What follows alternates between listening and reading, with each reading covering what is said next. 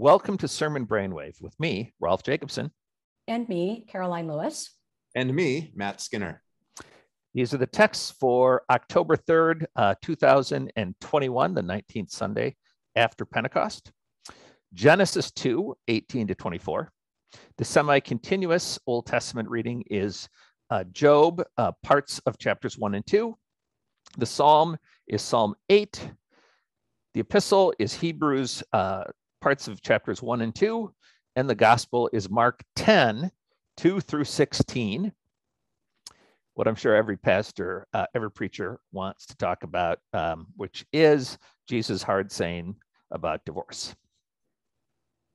Yeah, so we mentioned uh, this last week uh, that we have four really challenging texts uh, in this last part of Mark before uh, the triumphal entry into Jerusalem in, in chapter 11 that are uh, these discipleship texts that are interspersed with the passion prediction. And so that contrast or that juxtaposition between uh, the the truth about discipleship and the truth about Jesus is is where we find ourselves. And we also mentioned last week, but I, it's worth mentioning again, and I say it uh, often when I'm doing preaching and talking about preaching uh, is that it's one of those texts that you simply cannot allow to be read uh, in the in in worship and then not preach on it uh, because there's just too many uh, people and ways in which divorce has touched uh, so many lives. And uh, so it's it, if you read it you got to preach on it. Yeah and there's so much so much in it beyond just being you know quote unquote the divorce text uh, mm-hmm. of the mm-hmm. synoptic gospels um, you know paul as well appears to have um, seen divorce as incompatible with his understanding of marriage it's, it's also a text about um, kind of what it means to be male and female and in that culture it's also a text about remarriage it's also a text that construes marriage uh, in a heteronormative way it's also a text that has to do with children and reminds us that a family isn't just about two spouses, but has a larger, um, mm-hmm. uh, well, family uh, connected to it, but community as well. It's also a story about Jesus and the Pharisees and the way he interprets law. There's just a ton going on here. And to pair with Genesis 2 is not especially helpful because that's also one of those texts that has to be commented on, which we'll talk mm-hmm. about in a minute. But um, it's again, it's you know, whoever said that Jesus was about loosening restrictions wherever he went.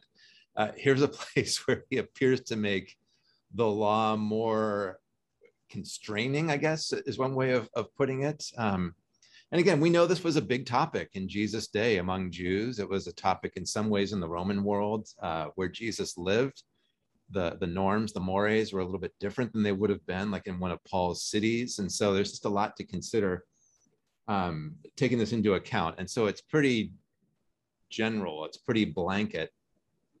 Um, and so I'd say any preacher has got to help people negotiate. Well, what does that look like in the messiness of of, of real life, um, and and real hurt and real pains and things like that. So that's that's true with any kind of kind of ethical prescription that we find in Scripture. We need to dig down and say what's going on here theologically uh, what's this trying to protect? What's this trying to guard against? Who's this trying to protect? I mean, those kinds of questions don't just need to be present in the sermon. I think that a, a preacher needs to kind of show a congregation how we work those out in our own um, kind of communal reckonings about about um, well issues like this. Well, and that's part of it. the I mean, I think the word protection is really important um, uh, particularly when it comes to the law and the interpretation of the law that uh, and god's instruction that the law was given for uh, the protection of the self and the protection of the community and for others and and the flourishing of the self and the others. And so part of what's happening here is uh, you know is the undercurrent or the subterranean issue is uh, for what what were was the divorce happening uh, and uh, and so if it's you know pretty much for anything you want uh, and there's no constraints around there, then what? Uh, then how is it that Jesus responds to that? Uh, that reality and to say no this is you, that the act of divorce is uh, is is putting someone in jeopardy and not only you in jeopardy but you know and it, it, as you said the extended family in jeopardy or it, it affects the whole family. So there is a sense of the way in which jesus is speaking to uh, speaking to the reality of of of divorce and for what reasons um, that we need to pay attention to. Yeah I, I, agree with everything you guys have said except one thing but i'll come back to that in a minute. Um, that uh, uh, we all know that uh, the well, I think we all know, right, that the incredible cost harm to children uh, that can happen through divorce. It was um, it was really interesting. Uh, I watch too much sports on TV, but one of the good things that happens when you watch too much of something is you get to you'll find out human interest stories in the middle of them. And on ESPN, Kirk Herbstreit, who's recently written a memoir, talks about his own um, childhood in this uh, light. Uh, that's worth if if you're a sports um, addict like I am, it, you you could look that up. But um, also, the number one cause of new poverty in the United States is uh, divorce. Um, so that this is a justice issue for Jesus. Uh, that is, who is harmed by this way, so that new poverty meaning somebody is living above poverty, uh, above the poverty line, and then they fall below it. The, the number one uh, reason for that is divorce. The number two reason for that is um, catastrophic health uh, um, issue with no insurance when someone has no insurance. And so those, I mean, to put those two things together uh, and think about um, to think about this passage in the larger issue of, of justice. Uh, I, I, I, do want to emphasize again what Karoline said, uh, which is um, if this text is going to be read, uh, it has to be commented on in some way. Um, we had, uh, or switch it out if you're not going to do it. If if you're doing a series on something else, you know, within, for instance, Job. talk about that shortly. Think about um, or uh, Hebrews. Yep. Think about uh, um, subbing, subbing something out uh, in, in its place. I'd say too, if you're preaching on this and and you find it's hard to kind of break out of a particular perspective, it's good to ask around. You might want to spend some time um, poking around your congregation, talking to people who uh, who you know to have really good marriages, from as far as you can tell, people that you think have gone through uh, rocky times or to talk to divorced people or children of divorced uh, parents. Um, uh, you know, we have our stories to tell that can help a preacher appreciate the ways in which, um, uh, well, this is somebody, something somebody said to me in the process of my own divorce, which was no two divorces are ever the same, right? They've each got their own individual uh, stories to be told. And not that those have to get re-aired, but just to kind of point out the way in which when we do ethical deliberation, when we talk about who's hurting in the congregation, that we just we talk about all the ways in which we're really good at hiding that in our institutions, but also the ways in which we're really good at making assumptions about what must be good for somebody else has to be what's good for me and vice versa. And, um, I think we all know that as preachers in our own ways, but because this text is so absolute, because there's no story of uh, Jesus and his remarried disciple who actually is is a lot happier now than he, you know, whatever. Uh, there's there's no story of of of confession and restoration that's tagged onto this, but we all know those stories in our own lives. Yeah, and I think too, if uh, the if you as the preacher have been um, have been touched by divorce in some way i think uh, to give yourself some space to reflect on that or grieve grieve that i when when we were preparing to podcast i realized that the last time this text uh, we had this text was three years ago and i was very recently divorced uh, about three four months and not and and so i was wondering how i would feel when this text came around, uh, realizing that we were podcasting on it. And that was important to just kind of sit with where am I three years, three years later, uh, three, three plus years later. Um, I'm also a child of divorce. My parents divorced um, when I was in college. And and so and i've um, in the last three years i've walked alongside a number of, of friends who have been divorced and so just to give yourself some space to sit with that not uh, kind of uh, maybe um, uh, maybe set aside the, the the theoretical and the theological and the and the homiletical and just kind of um, sit with the personal a little bit uh, so that you can preach this text with um, with a kind of honesty and integrity that uh, that that will be so important when you're when you are speaking about um, something like this from the pulpit. I might have missed it, but Rolf, were you going to disagree with something or push back? In a moment, but let's talk about the ending of the text first. Um, for instance, you could just start the text at verse 13 if you're not going to uh, talk about, if you don't want to address divorce, about the little children uh, bringing the little children uh, to him, and Jesus laying his hands on them and blessing them. Um, this is often, uh, I think, this text is often sort of romanticized in our culture about let the little children come to me. Um, but that's not necessarily a bad thing. Um, that you know that a text like this that we have uh, in the ancient world, uh, in the Hellenistic world, uh, Matt and Karoline, how were children regarded in general? They're almost oh, non non people social, yeah. Mm-hmm. From the larger society, I mean, doesn't mean their parents didn't love them, but mm-hmm. didn't really have rights. Mm-hmm. mm-hmm. The way yeah. we think rights today as a kind of innate thing. Well, and a really kind of powerlessness, and so that I mean that that's one of the uh, important aspects of this text uh, or this part of the text with regard to the larger themes of of the whole of this last portion of Mark, but but just the realities of divorce is who's who are the who has the power and who doesn't uh, in in that situation, who and who is who then whose powerlessness is even more exacerbated by that. And and and to recognize that jesus has talked about this already back in chapter 9 36 and 37 then he took a little child and put it among them and taking his arms he said to them whoever welcomes one such child in my name welcomes me and whoever welcomes me welcomes not me but the one who sent me.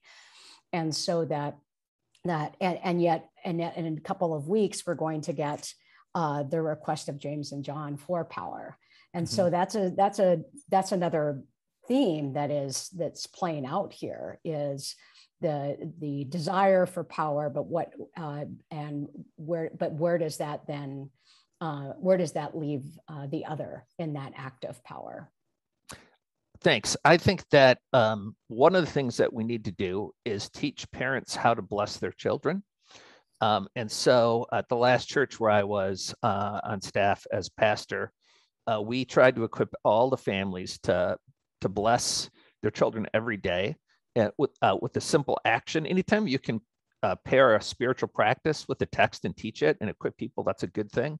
And so um, the one we used was uh, encouraging parents just to make the sign of the cross on their children's forehead and to say simply, Jesus loves you, and so do I.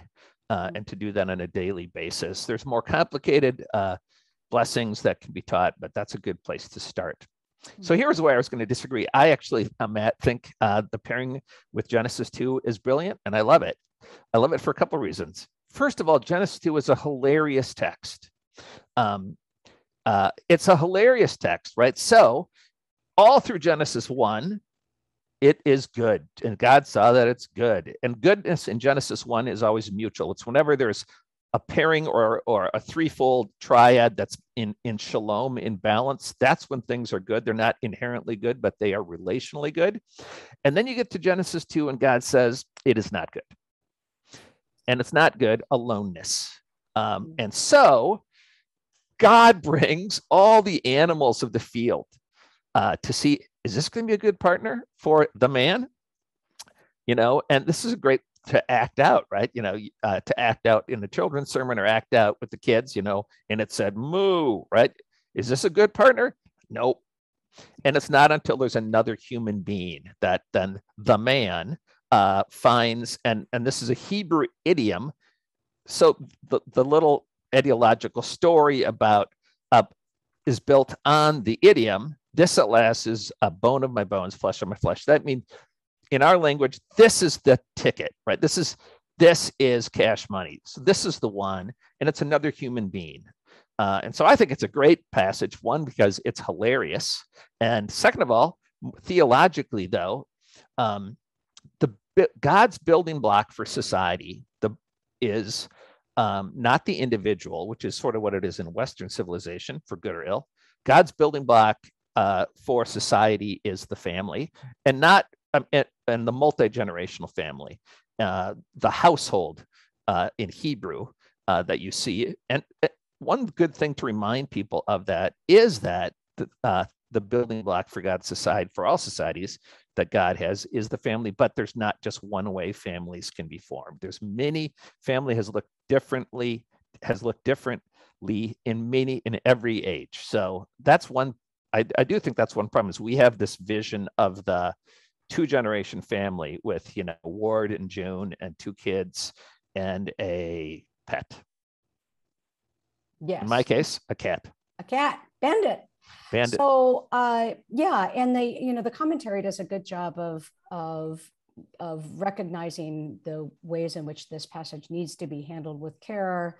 There's a proof text to uh, condemn family structures, as she says, that stray from male dominance, female submissiveness, or heterosexual pairing. Mhm. And so, uh, but I, I think what- you know one thing that you said, um, Rolf, is really important. Is this, which uh, you know, one of the words that I always come back to, and we talked about this a couple of weeks ago, of the the helper, you know, the NRSV, the helper, uh, which can be construed as a submissive kind of uh, term, when in fact it's this fitting partner, or and then it typically refers to God. And so, what, what at the heart of this, and really at the heart of the Mark text too, I think is is and what you were saying of a critique of individualism it's it's it, yes it's the household yes it's community but it's also our absolute need for companionship. Uh, and and who are the who who are who is our fa- our family that uh, those persons whether it be an individual a, you know a spouse or a partner uh, that are that that fill that deep deep desire for companionship. Uh, and and that that's that's one of the things that we grieve then when in a, in a divorce or or a family separation is, is that loss of compa- companionship and then having to reconstruct what that looks like.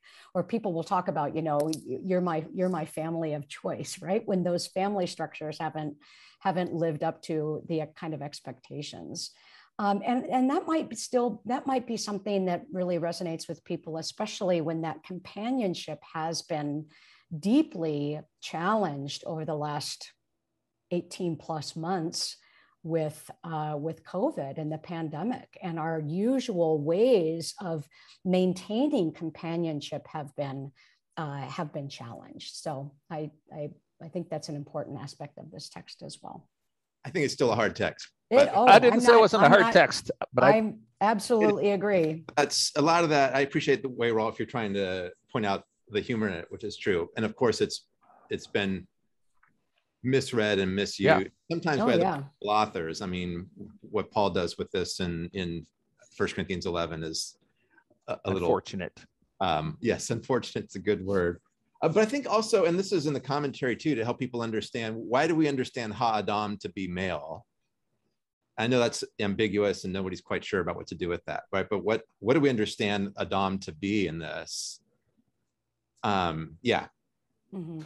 No, I, it- I, I, I think the commentary does a great job dealing with the translation issues, especially.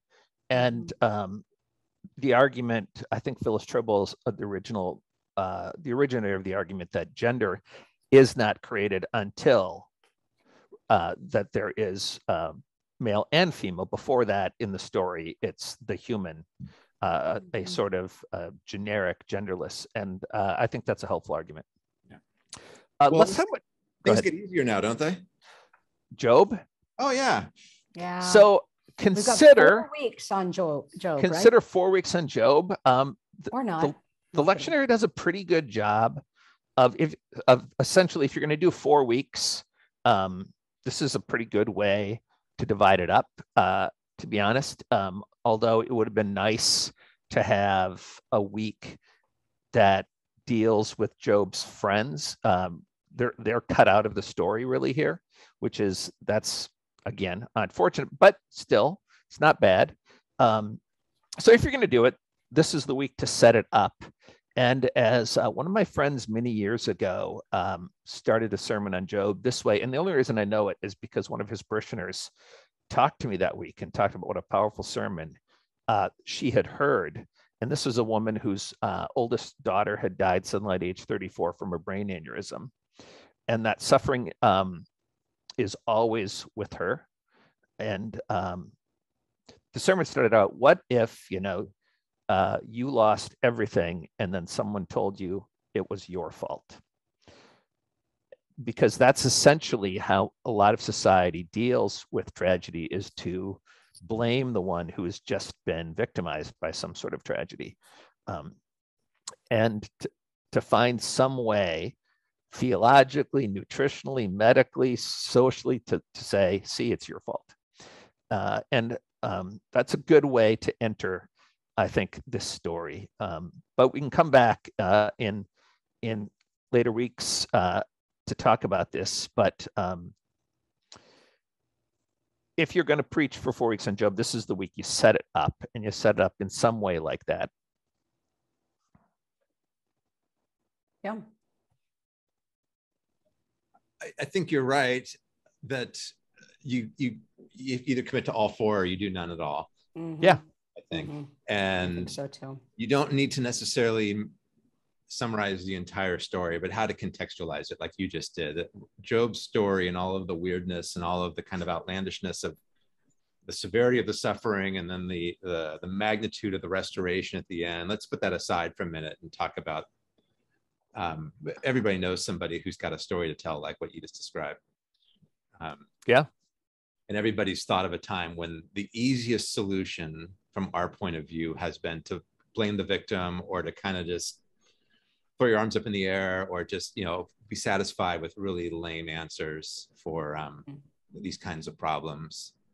Uh, and so to invite people into this so job's questions are humanity's questions in so many ways. And and the and and not to set up job at the beginning as somehow promising an answer or suggesting that by the time we get done in four weeks you'll know you'll Well, have it- solutions because i don't think the book works that way and that's part of its beauty. Well, that that's it. It's it's it's how do we how do we um, sit in the unanswerable, and we try to fill that space, and we have we come up with answers, or we say that say things to help you know to help what we think are helping to make it better, and um, and uh, there's something quite um, well very theological about that. Uh, the ways in which a lot of how we go about theology is is wanting to have answers or uh, prescribing certain ways that God works or we think the way God works. And what if you spend yeah, four four Sundays just living in a, a kind of uh, theological place that recognizes that doesn't that's not how it works when it comes to God. Yeah, I think the book of Job, uh, it's about many, many things. Um, but two things it's about that people don't often talk about is um, how do how do we how do we deal with our own suffering, and how do we respond to others, the suffering of others, and um, so that's one reason to draw in Job's friend's response because at first they do the absolute right thing, and this is um, this is how I teach people uh, how to basic pastoral care, which is you go. You go over to see your friend who is suffering. And this is to set up something that's going to happen in week four. They go to comfort him. Uh, and the word, uh, the root for comfort in Hebrew is nacham. Going to come back to that in three weeks. And uh, they go to comfort Job. And this is the first thing that people have to learn to do because the suffering of others uh, if we have our emotions of our own repels us. We don't want to we don't want to go to be around someone who's in extreme emotional suffering. Um, other people's suffering is very difficult to be around. And so what you have to do is just go anyway. And no one will remember what you wore what you said unless you say something really stupid. But if you just go and don't say anything that will fix it because you can't fix it, but just go. And that's the best uh, advice about how to deal with the suffering of others. As I like to say, and bring Cheetos. Oh, Bring some sort of food. Love. Cheetos. Uh, Cheetos Oh are the perfect food as long as nutrition is not important to you. They are so good. Right. The Exactly. the crunchy ones, not the well, I like the puffed ones, but the crunchy ones. Not the spicy ones. No, no, not the super spicy hot ones. No, but Yeah. the flaming, the flaming Cheetos. But oh, they're so good. Mm. So uh, Psalm 8 is really t- paired with the Genesis 2. And I've talked about Psalm 8 on this podcast, I don't know how many times, uh, because it, it comes up a lot. It's one of the happiest, shortest Psalms. And so uh, they love to use it. Uh, but this is really, again, a Psalm. It's a creation Psalm, it's a hymn, and it's a Psalm about the place of humanity in creation. At the center of the Psalm is a question. So it starts and ends with the same refrain, O Lord, our sovereign, how majestic is your name in all the earth. By the way, here is the my cat just jumped up uh, on my desk. Speaking of uh, two kids and a cat. But so at the center of the psalm is this question um, that that people have, which is it should say, "What is a human being that you are mindful of that one, or a mortal that you care for that one?" It's an individual quest about why should I think God knows or cares about me? And the Psalm's answer is because God has given you meaningful work to do. And uh, so it's a psalm about vocation and and uh, finding one's purpose in terms of being a servant. Oh, it's about so many other things, but that's enough for today from me. You It's all- also paired nicely with Hebrews 2, if we're ready to move to Hebrews 2, I'd love to move to Hebrews too. where it's. We've uh, got. Oh, go quote- ahead. No, you go. Uh, well, no, just to say that, okay, now we've got uh, potentially seven, uh, seven readings from Hebrews. That is if you are not a Reformation or All Saints preacher. So it's five if you are uh, in- inclined that way, but seven if you do not preach on Reformation or All Saints. So we've got seven readings from Hebrews. So I just wanted to point that out before we jump right into the text, which people already probably knew, but you know, But you ca- got to get your text makes around it. the text doesn't make sense unless you retranslate Psalm 8 in the singular Mm. You mean for because the- it's a text about Jesus Mhm. being the Son of Man, which is what um, the phrase mortal is literally in Hebrew, a son of man. got it. If you're kicking off Hebrews, it's good to know that just how strange this book is in so many ways. It has a theological outlook that's that's unique within the New Testament. Big questions about when it was written to whom and why. It's the word Hebrews never appears in the book. It was just assumed in the uh, in the early church that this must have been addressed to what we would call Jewish Christians. That's not even totally clear. The word temple never appears, but it's deeply invested in this notion of Jesus as a high priest. Um, it spends a lot of time with Psalm 110:4 that talks about that. We'll come back to that in coming weeks. Melchizedek. Yeah, we'll get a little Melchizedek action, but it's also the a book uh, that that I think. Well, it's how about this? One of the top three that does the most to advance what we would call today the incarnation, which is not necessarily worked out in its full form in the first century, but it, it does talk about Jesus as as divine here, right? The reflection of God's glory, the exact imprint of God's very being see maybe some stoic influence on the book here but it's also but he's one of us and this is where the the, the book will keep coming back to this it will keep insisting on jesus supremacy in all things superior priest, superior sacrifice, superior mediator, et cetera, et cetera. Uh, but he's also one of us. And that will come out a little bit more in some future readings. But even here, and this is uh, our, our friend and colleague, Craig Koester, talks about this in chapter 2, verse 9. This, but we do see Jesus, who for a little while was made lower than the angels. That, that part of what's going on in Hebrews is this testimony to having experienced Jesus, not as some ethereal idea or some concept of divinity, but as having come in real flesh.